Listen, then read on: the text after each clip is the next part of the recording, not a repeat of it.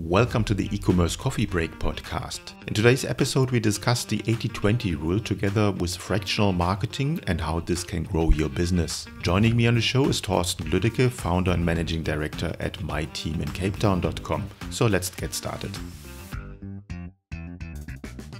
Hello and welcome to another episode of the e-commerce coffee break podcast. Today I have a bit of a different episode than the usual episodes. We want to talk about the 80-20 rule and how it can grow your business.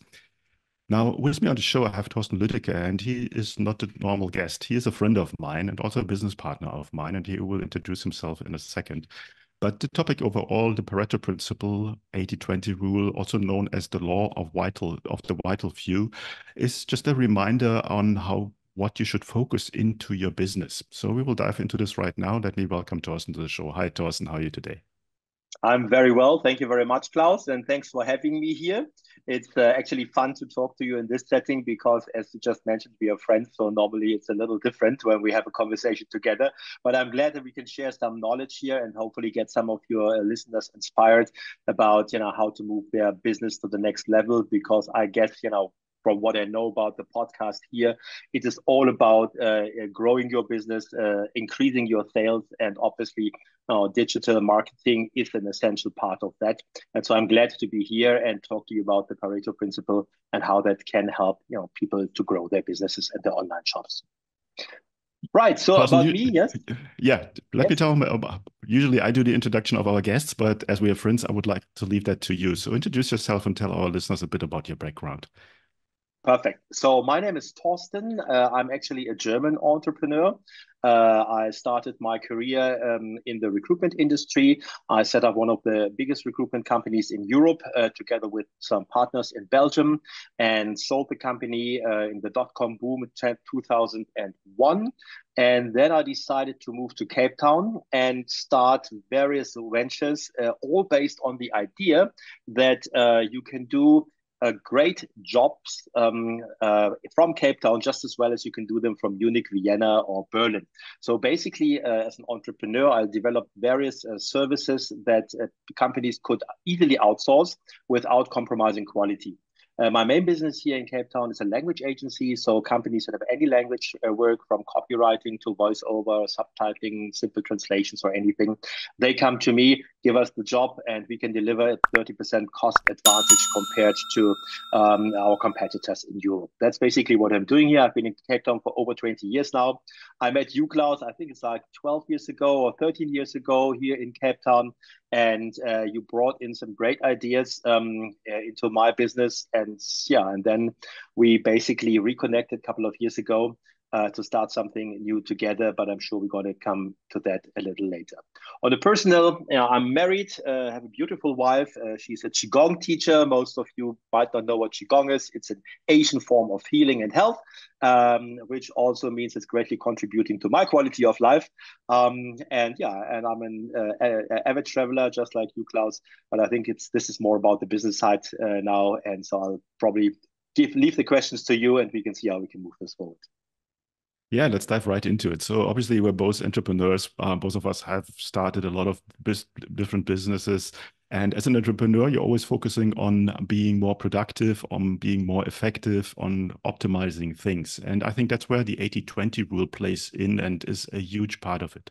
Now, for those who do not know, the 80 20 rule also called the Pareto principles, coming from Alfredo Pareto. He was a Italian economist in the 19th century, and he came up with the concept.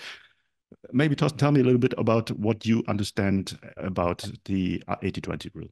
Yeah, the funny thing is, uh, he was an economist, but he actually the insight came from something else. He just you know, observed uh, Italy, and he found out that uh, eighty percent of the land in Italy is owned by only twenty percent of the people. And then he looked in his garden, and he said, "Well, if I look at my trees, he says that eighty percent of the fruits are carried by twenty percent of uh, of the trees." And he continued to look at various things, and this 80-20 rule seemed to pop up uh, pop up in many many spheres of his life. And then he and others looked at uh, at business, and they discovered similar things. Uh, I mean, most of you, your listeners, will know that a lot of the marketing do they do a lot of the resources they spend create very little results. And then there are the few things that they do that you know suddenly bring big results. And that is the 80-20 rule. So it says that 20% of your activities are responsible for 80% of your results. So you might wonder, now, is it worth doing the other 80% of work if that only brings very, very limited results? And that is, uh, you know, what we are also uh, suggesting here to say, okay, look at your business, uh, identify what does make sense, what brings the highest results, and then implement it accordingly, you know, to use your resources in the most effective uh, way and um, yeah, and I think this is this is a principle. Uh, yeah, you can do it on the on the tiniest scale for example, if you just write a simple uh, Facebook post, you know, once you got the main message right, once you got the graphic right, you've got your targeting right, this is 20% of the time and it's done.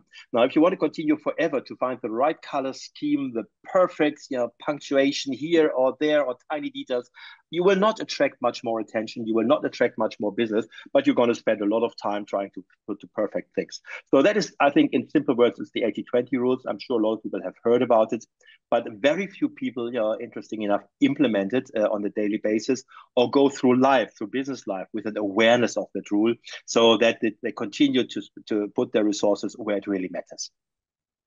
Yeah, 100% right. I think a lot of solopreneurs, startup founders, people who are side hustlers going into business do not have that on their plan on their platter because obviously there's so many things happening every day in a business that it's easy to get lost in the day-to-day tasks that are out there. So with the 80-20 rule as you mentioned before you really need to sit down and go through the tasks that you have in your business and find out what is bringing the results and how can i restructure it. And i want to dive a little bit on a couple of examples to make it easier for our listeners to understand what it is. So one thing for instance is that you might have a um, that 20% of software bugs um, cause 80% of customer complaints, for instance. So you need to find out how can I optimize that one. Um, you can have, for instance, outsourcing that at 20%, and you mentioned that 20% of your ad advertising generates 80% of your leads. So you want to focus on that. And I'm a big fan because as an entrepreneur, you have to deal sort of with everything, but you have your personal strengths. So you might be good in marketing, you might be good in accounting, whatsoever. And that's what you should fo focus on because that helps you most in a business. And the rest you should sort of outsource. And I'm a big fan of that. So I usually look at the 20% that I'm good in and that bring the results and everything else, which is also necessary to do in a business. So you cannot just cut out accounting, for instance, because you don't think it brings any results and you don't like it and you're not good at it. Um, you still have to do it, but you need to find someone who's better than you and outsource the whole the whole thing. Now, the 80-20 rule is not necessarily 80-20. It can be 70-30, can be 90-10, 99-1, um, but you really need to find out what it is. Now, going through this this process, or what's what's your approach of um, sitting down and looking at the processes and then really making a, a decision, a call on what to change in a business? How do you do this? Uh, I think I think you you you had a valid point there when you said there are certain things that you're really good at and others you're not so good at, and you will also find that this is true um, when you use the 20 uh, the 80 20 rule. So for example i'm i'm very good at uh, identifying um, where i'm wasting my time and where i'm effective in the areas where i'm good at. Now that is perfect and i think all it needs is to go a little bit into the numbers and do a little bit of analytics and then you know you will understand what brings the result. What is more difficult is, are these areas where you you feel you've got uh, not enough expertise anyway, and um, and where you struggle to understand, there it's going to be very very tough for you to identify the areas where you're wasting your time and resources. So uh, again, you know, if you're smart like Claus and you outsource these things, it is time to talk to the people you're working with, you know, the people you have outsourced to work with, and ask them to look at what they are doing and ask them to identify where they think their their their contribution brings the, the highest results. So uh, we can't uh, we can't expect a, an solo entrepreneur or you know, small, medium-sized uh, enterprise, the owners, the entrepreneurs. We can't expect them you know, to be able to analyze all areas of their business that way, but they can at least do the ones that they are responsible for and that they are good at. So it is, uh, yeah, looking at numbers, and we today the internet and so and, and, the tools we have on the internet offer a lot of analytical tools that we can use to uh, identify um, the um, uh, which what makes sense and what doesn't make sense. But do it for the stuff that you are doing, and don't try necessarily to understand all areas of your business. Leave that to the people that are doing the job, whether it's your own employees in the in your business or uh, the people you've outsourced to. Wow, very valid point that you mentioned there. Sometimes it's very difficult to see the forest because of the trees, and a fresh set of eyes will help you to find out, or just a person that might be another one person in your organization, in your company, looking at a different aspect of your business and telling you what's working and what's not. And then from there, going in the 80 20 rule, or someone external looking into that. Now, the two of us have come up with a solution on that because specifically in, in certain areas, it's, it's just easier to outsource things and to give it someone else who is either more specialized or just because time is money also can do things cheaper. Um, tell me a little bit about the solution that we came up with. Okay, well, that's a complex question because it covers a couple of you know, ideas that we have put together to make it worthwhile for you know your young entrepreneurs or uh, shop owners um, to, uh, to use this service. Now, the first idea is obviously I mentioned earlier I live in Cape Town, so all my businesses are operating from Cape Town, and Cape Town has a smart and better cost base. So roughly 50% of the expenses that you would you know usually have in uh, in Western Europe, which means the office uh, uh, spaces are cheaper, uh, the, uh, the, uh, the the salaries are cheaper, everything is really just like half the cost here. so that is one one pillar of what we are offering. We say, okay, let's operate from Cape Town. The second point is um, that we have observed that a lot of companies feel uneasy when it comes to outsourcing to some random freelancer that they have no control over, or just a BPO company where they talk to a, a, um, a client relationship manager, but they don't talk to the people that are actually doing the job. And uh, this is why uh, Claus and I started a separate business line called My Team in Cape Town, where we basically say, okay, you have a certain profile of people or person you want to recruit. We will find them for you. We will employ them at our company. They will sit in our office, but they are part of your team. So you've got complete control of them. You integrate uh, them, them in your in your meetings, in your online meetings. You talk to them on a daily basis, but they are in a fixed office structure under supervision. So yeah, if you've got a freelancer in India, you've got no idea what this guy is doing all day. If you're sitting in our office, you damn know what's going on, and you always have someone to refer to if there are any issues. It also means you have no problems. So if you're unhappy with this person and we need to go to the retrenchment phase or something like that, that's all our responsibility. You just yeah basically have the benefit of having someone working for you exclusively in a low cost destination. Now, that is the idea that Claus and I had, you know, uh, couple of months ago. Well, actually, it's, it's a year and a half uh, uh, ago now, and it's flourishing very well. Now, then Claus came to me and said, "Look, my client here, they they are usually smaller companies or just you know solo entrepreneurs, and they don't have the resource, the money to pay a full time marketing manager." And that is where the Pareto principle came on. And we said, well, there's no need to have a full time marketing manager because you know, 80% of the results are done in 20% of the time. So rather than hire someone full time, let us take on you know experts in their field and they work as fractional marketing managers. That's how we call them. So you buy a fraction of their time, like you know, I don't know, 20 hours a week or 15 hours a week. And in these 15 hours, they work exclusively for you. Now, what does it mean financially? Financially, it means uh, you pay only, you know, the, the share of the time that they're working for you. You're also paying far less because they are based in Cape Town. And you have an expert, you know, in their field that is supervised. Uh, that is the last bonus uh, that I bring in by uh, our friend and podcast host, Claus Lauter, who obviously knows a lot about digital marketing. So he's actually uh, looking at the team. He's uh, taking care that everything is fine. He's bringing the great ideas into it. Um, and so, so, you know, it's not just someone you know working in in an empty space. It's someone under great supervision. So that is the concept that we came up with. And uh, the basic idea is the 80-20 rule, because we say you don't need someone that does uh, the stuff that you know a, a multinational do, does. You, you need limited stuff that creates results. You need to do the basic thing that, that is absolutely necessary to drive your sales. And a fractional marketing manager is more than enough for that. So this is the kind of you know idea that we think is working, and uh, the fractional marketing manager, because he or she is an expert in their field, also will be able to identify very well, you know, what are the things that create results here and what is other things that I'm just doing because, you know, I'm paid 40 hours a week and I have to do something and present something in front of the board. So the idea is we do only what matters. We do it uh, at a fraction of the cost that you would usually pay. And then hopefully we get your sales up and, uh, and, uh, and you'll recommend us to your friends and business partners the fun part of is that we are clients of our own company because we we had this pain point we had this pain point okay we have identified according to the 80-20 rule certain areas where we needed help with but not a full-time person. So we started with that and now we're basically bringing it out to the world to other entrepreneurs doing the same. So we're not only running the business we're clients of ourselves because we still have people that work only part-time for ourselves but we're offering these to others as well. So who's our perfect customer at the end of the day I would say the perfect customer is any company that uh, has a high awareness uh, that is impo- important to drive sales through digital marketing. Uh, that they understand, you know, no matter how good their products is, they need to sell, sell, sell, and they need to do something in order to get these client leads and to get the sales in. And it's a company that says, "I'd love to do it, but you know, I've got limited resources." And uh, i don't have the expertise to do it myself because i'm very good at other stuff but you know i know very little about digital marketing. So they don't have the expertise themselves and they don't have the resources to hire someone expensive full-time at their own office.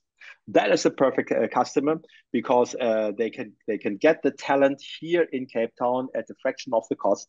And uh, they don't need a full-time person because uh, as we all know it's very few things that actually make a difference, and that is what the uh, the marketing manager here will will focus on. There's also companies that think, well, damn, you know, I'm just a small business. I would love to take advantage, like all the global players. I mean, all the global players are here in Cape Town, like Amazon. They are huge centers here. They take advantage of the low cost base, and the small entrepreneur does want to do the same. So if they want to take advantage of their low cost base here, that is an ideal customer.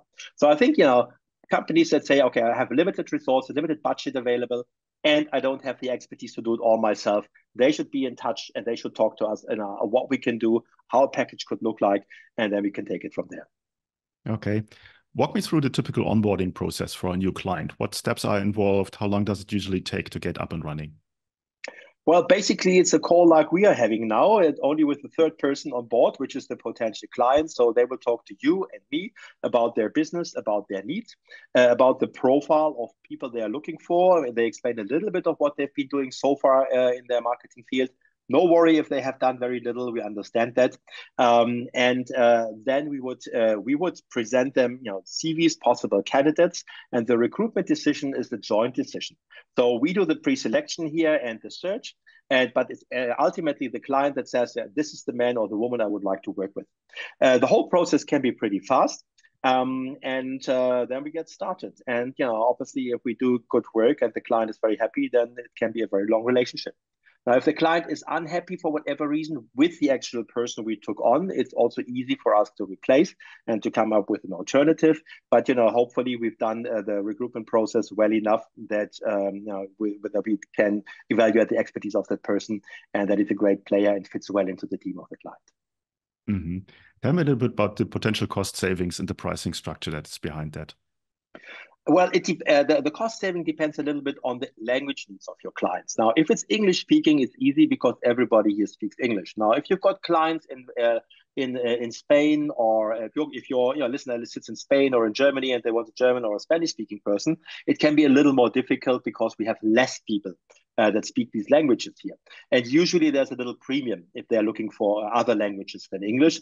Uh, but there are huge international communities here, so uh, it is absolutely possible to find a great uh, online marketing manager with other language skills than uh, than English. But if it's an, a native speaker, uh, I don't know whether any of your listeners ever looked into Cape Town. It is the creative hub here in in Africa for a reason because the atmosphere here is extremely creative. People love Cape Town. A lot of young innovative people are living here. And uh, so there is a, a, big market. And other than in europe there is a, quite a bit of supply here for these profiles. Uh, so i would say if it's an english speaker um, you know everything included if you take the salary of the english speaker if you take the office space that we provide the it uh, support that we provide the management support we provide you know we pay into the pension scheme so whatever is necessary. They participate in our Christmas party. So they're really integrated in a proper working environment. Yeah, if you add all of that up, you know, the, the cost saving compared to taking on someone like this full time would be something like 30 to 50%.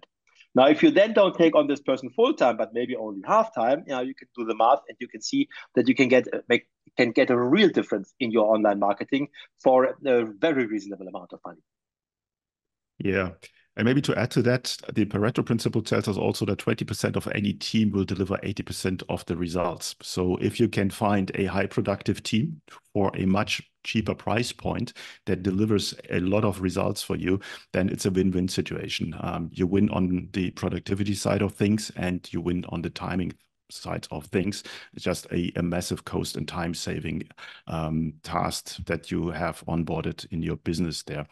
Before we come to the end of the coffee break today, Torsten, is there a final thought that you want to leave our listeners with?